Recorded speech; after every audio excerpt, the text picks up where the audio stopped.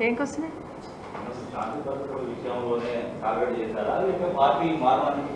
మీరేమనుకుంటున్నారు? మీరేమనుకున్నారు బయటంతా? అంటే ఈరోజు ముఖ్యమంత్రి గారు మాట్లాడిన మాటలు వింటి. మీరిద్దరు అక్కలు అక్కడ ఉన్నారు. ఇక్కడున్న మాతో ఉన్న అక్కలను ముందు సీట్లో కూర్చుని పెట్టినాము. అని మాట్లాడిన మాటలు ఏదైతే ఉందో అది ఎవ్వరూ హర్షించరు. ఒక ముఖ్యమంత్రిలో అసెంబ్లీ స్థాయిలో అట్లా మాట్లాడడం తగదు. ఇంకొక మాట ఏమన్నాడు? ఇద్దరు అక్కలను నమ్ముకున్నా అక్కల గురించి నేను తప్పు మాట్లాడలేదు. ఒక అక్కనేమో నడిబజార్లు నిలబెట్టింది ఇంకో అక్కేమో కేసులు పెట్టించింది అంటాడు. నేను నడిబజార్లో కూడా నిలబెట్టినా రాజభవనంలో కూర్చొని పెట్టినా ఇప్పుడు అర్థమవుతుంది కదా. రెండవది సునీత గురించి మాట్లాడుతూ మీరు పోయి ఉన్నారు కేసులు తీయించేసుకున్నారు. మరి మీరు పోయినప్పుడు నా మీద కూడా కేసులు ఉన్నాయి తీపియాలని తెలియదా మీకు? అని అడిగాడు. నేను ఇప్పుడు చెప్తున్నా ముఖ్యమంత్రి గారికి. ఆమె కేసులు తీయించుకోలేదు. కేసులు అట్లాగే ఉన్నాయి. ఇప్పుడు మీరు ముఖ్యమంత్రి కదా మీ మీద ఉన్న కేసులు తీపిస్తున్నప్పుడు తన మీద ఉన్న కేసులు కూడా తీపించండి ఎందుకంటే కేసులు ఎవరు తీస్తారు? ముఖ్యమంత్రులు తీసేస్తారా? కోర్టులో ఉంటుంది సిస్టమ్ ఉంటుంది సిస్టంలో ఉంటుంది. అది చేయమని చెప్తాను. ఎందుకంటే ఈరోజు అంతమంది తీస్తారు.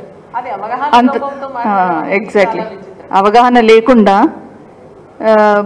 కేసుల కోసం పోయి కేసులు తీయించేసి నువ్వు చైర్మన్ అయిపోయినావు అని మాట్లాడుతావు అంటే ముఖ్యమంత్రి గారికి క్షోభ క్షోభ ఇవ్వదు అట్లా మాట్లాడడం దయచేసి మాట్లాడితే కూడా భవిష్యత్తులో కూడా అనుకుంటున్నట్టున్నాడు ఆయన. నేను ఏది మాట్లాడినా నడుస్తుంది ఒక నియంతలాగా ఏదన్నా నడుస్తుంది చెల్తే అట్లే నడుస్తుంటుంది అనుకుంటున్నట్టు అది కాదు.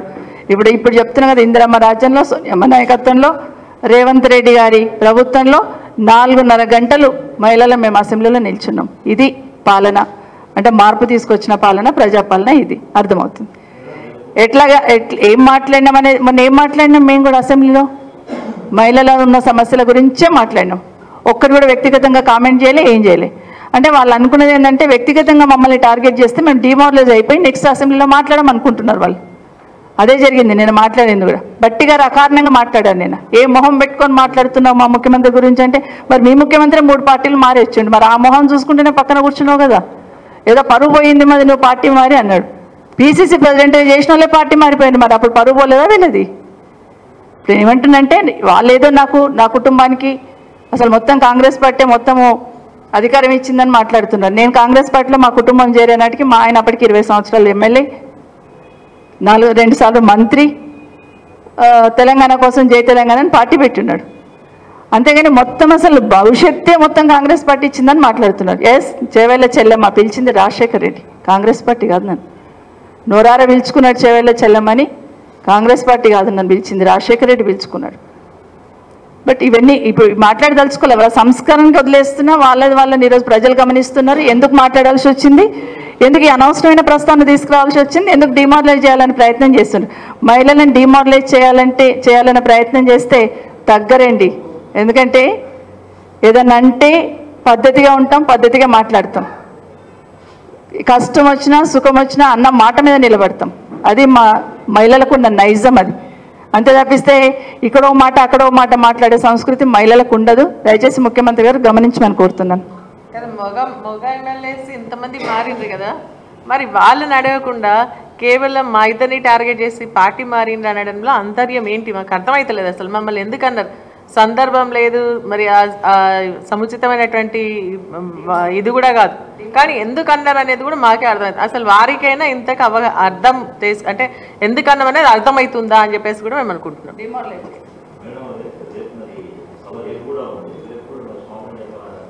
క్షమాపణ గురించి ఈరోజు కూడా క్షమాపణ గురించి అడగలేదండి మైక్. మళ్ళీ చెప్తున్నానండి.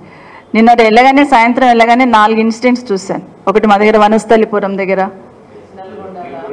నల్గొండలో ఒకటి.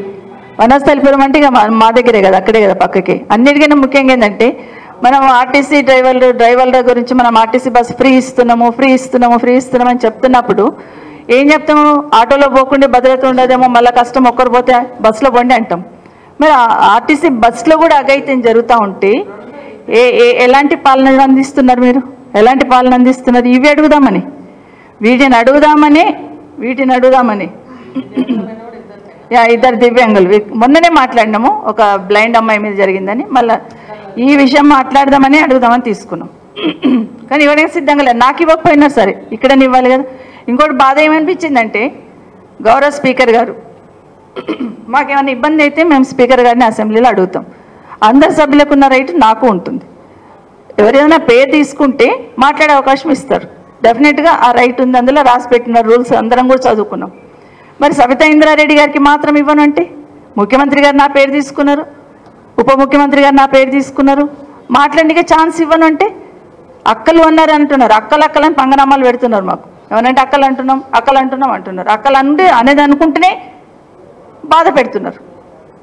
ఎవరైనా ఆడబిడ్డలు సంతోషంగా ఉండాలని కోరుకుంటారు కానీ రాజకీయాల కోసం ఏదైనా మాట్లాడేస్తామంటే ఎట్లండి?